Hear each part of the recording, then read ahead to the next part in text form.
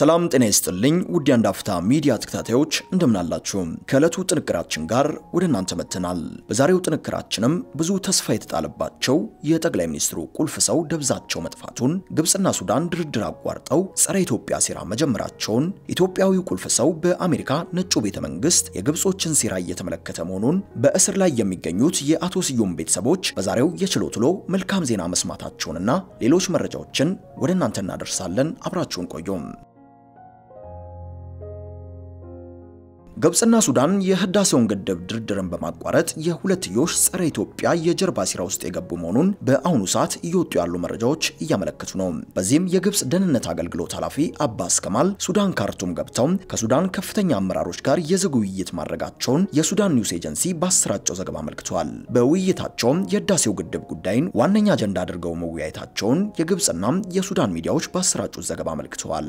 በዚህም የግብፅ የደህንነት ቢሮ ኃላፊ በካርቱም ከሱዳን ሽግግር መንግስት ከጠቅላይ ሚኒስትር አብደላ ሐምዶክና ከወታደራዊ ምክር ቤት ኃላፊ አብዱል ፈታህ አልቡራንና ሐምዳን ደጋጎ ጋር መገናኘታቸውን የታወቀው ትላንት ከጀመረውና ዛሬ ለመቀጠል ቀጠሮ ተይዞለት ከነበረው የግድቡ የሶስትዮሽ ውይይት ሱዳን ሳታሳውቅ መቅረቷ የሚታወስ ሲሆን በዚህ ሂደት ውስጥ ግን የግብፁ የደህንነት ቢሮ ኃላፊ በአፋጣኝ ወደ ካርቱም በመብረር በዝግ የመምከራቸው ጉዳይ አነጋጋሪ ሆኗል። የጆ ባይደን የሽግግር ቡድን መሪ ትውልደ ኢትዮጵያዊው ዮሐንስ አብርሃም ፕሬዚዳንት ጆ ባይደንን ስለ ህዳሴ ግድቡና በኢትዮጵያ ስላለው ወቅታዊ ሁኔታ ግንዛቤ እንዲኖራቸው አድርጌያለሁ ሲሉ ተናገሩ። ዮሐንስ አብርሃም የባይደንን የሽግግር ቡድን የዕለት ተዕለት ስራ የማስተዳደር ኃላፊነት የተሰጣቸው ኢትዮጵያዊ ሲሆኑ የቀድሞው የአሜሪካ ፕሬዝዳንት ባራክ ሁሴን ኦባማ የቅርብ ሰውም እንደሆኑ ይነገርላቸዋል። በተለይ ከህዳሴው ግድብ ድርድር ጋር በተያያዘ ግብጾች በትራምፕ ዘመን በዋይት ሀውስ የበላይነትን ይዘው መታየታቸው የሚታወስ ነው። ዮሐንስ አብርሃም በጆ ባይደን አስተዳደር ከፍ ያለ ቦታ መያዙ ለኢትዮጵያ የዲፕሎማሲ ስኬት ከፍ ያለ አስተዋጽኦ እንደሚኖረው በርካቶች ግምታቸውን እየሰጡ ይገኛሉ።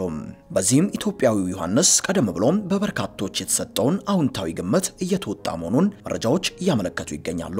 ዮሐንስ በዚሁ ዙሪያ የኢትዮጵያን አስተያየት የሰጠ ሲሆን በዚሁ አስተያየቱም ግብጾች የነጩን ቤተ መንግስት ጨምሮ መላ አውሮፓና አሜሪካውያንን በህዳሴው ግድብ ዙሪያ የተዛባ አመለካከትና አቋም እንዲኖራቸው ያልተጓዙበት መንገድ አልነበረም። በተለይም ዶናልድ ትራምፕ ግብጽ ግድቡን ልታፈነዳው ትችላለች እስከ ማለት እንዲደርሱም ግብጾች የሄዱበት አካሄድ አደገኛ እንደነበር ተረድቼ ነበር ያለው ዮሐንስ አክሎም በወቅቱም ስለ ወገኖቼ በጣም አዝኜ ነበር። ነገር ግን የኔ ጉዞ ብቻ በቂ ነው ማለት ባልችልም በኢትዮጵያ ወቅታዊ ሁኔታና ስለ ህዳሴው ግድቡ የተመለከተ ማብራሪያን ለአዲሱም ተመራጭ ፕሬዝዳንት ባይደን በማስረጃ ላይ የተመሰረተ ግንዛቤ እንዲኖራቸው አድርጌያለሁ ሲል ተናግሯል። ዮሐንስ አክሎም በየትኛውም የዓለም ሀገራት በውጭ የሚኖሩ ኢትዮጵያውያንና ትውልደ ኢትዮጵያውያን በሀገር ውስጥም ሆነ ከሀገር ውጭ የሚኖሩ ማናቸውም ኢትዮጵያውያን ጋዜጠኞች፣ ተንታኞች፣ ጸሐፊዎች የሀገራቸው ሁሉና ስለሆነ የህዳሴው ግድብን በተመለከተ ለሚቀርባቸው የውጭ ዜጋ ሁሉም በቂ መረጃ በመስጠት የግብጾችን ሴራ የማክሸፍ ስራ እንዲሰሩ ጥሪም አቅርበዋል። በትግራይ የተካሄደውን ጦርነት ተከትሎም በትግራይ ከፍተኛ ጉዳት የደረሰበትን ታሪካዊውን የአልነጃሺ መስጂድ በአፋጣኝ በመጠገን ወደ ነበረበት የሚመልስ መሆኑን የኢትዮጵያ መንግስት ገልጧል። መስጂዱም የደረሰበትን ጉዳት የሚያጠና አንድ ቡድን ወደ ትግራይ የሚያመራ መሆኑም ታውቋል።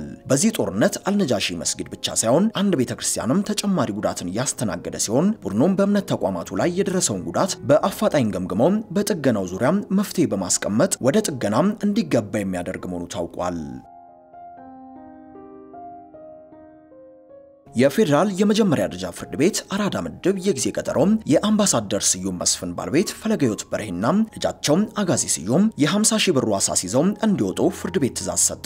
የአዲስ አበባ ፖሊስ ኮሚሽን በስዩም ባለቤት ፈለገዮት በርሄና በልጃቸው አጋዚ ስዩም ላይ ምርመራውን አጠናቆ እንዲያቀርብና የምርመራ መዝገቡን ይዞ እንዲቀርብ ታዞ ነበር።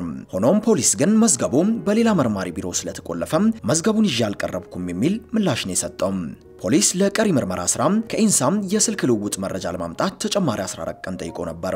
በዚህም የተጠርጣሪዎቹ ጠበቃ ይህን ማስረጃ ለማምጣት ብቻ ተጠርጣሪዎቹን አስሮ ማቆየት ተገቢነት አይደለም በማለትም ደንበኞቹም የዋስትና መብታቸው እንዲከበርላቸው ችሎቱን ጠይቋል። ችሎቱ በሰጠው ብይን መርማሪ ፖሊስ ያቀረበውን ምክንያት ባለመቀበል ተከሳሾች የዋስትና ጥያቄያቸው ተገቢ ነው በማለትም የ50 ሺህ ብር ዋስ አስይዘው እንዲወጡ ትእዛዝ ሰጥቷል። ከዚህም በተጨማሪም ፍርድ ቤቱም በዚሁ ትእዛዙም ተጠርጣሪዎቹም የዋስትና መብታቸው ይፈቀድላቸው እንጂ ከሀገር ግን እንዳይወጡ ጥብቅ ትእዛዝን አስተላልፏል።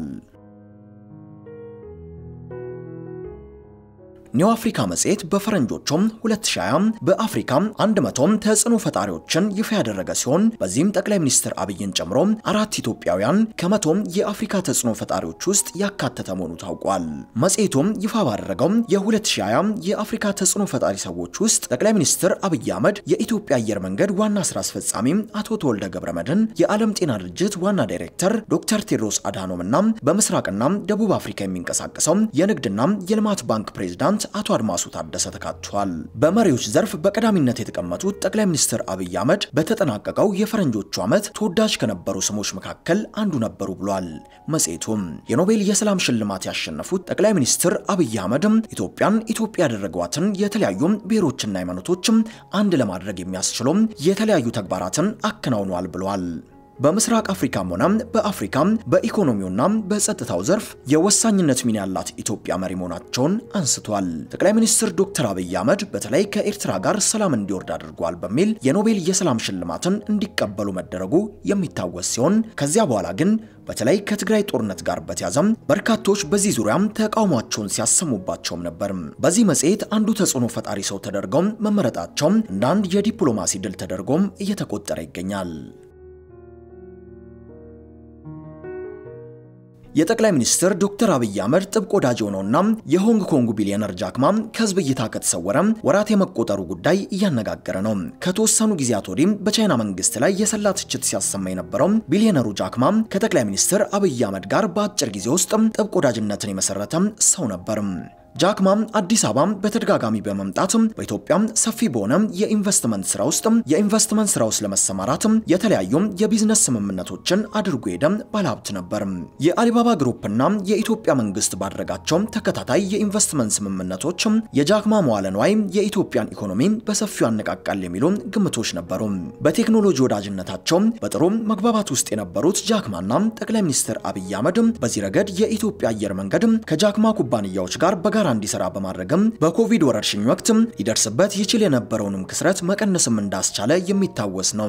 ጃክማም በቻይና መንግስት በድንገት እንዲሰወር መደረጉ ብቻ ሳይሆን የድርጅቱም የ stock market ውድድርም እንዲሰረዝ የመደረጉ ጉዳይ አሳሳቢ ሆኗል።